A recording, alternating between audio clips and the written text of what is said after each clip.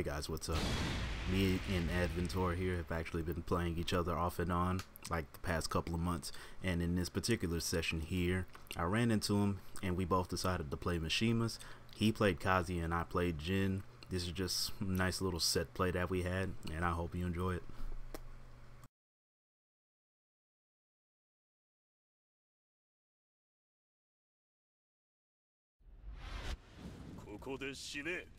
Here. 全てを終わらせる Round one. Fight.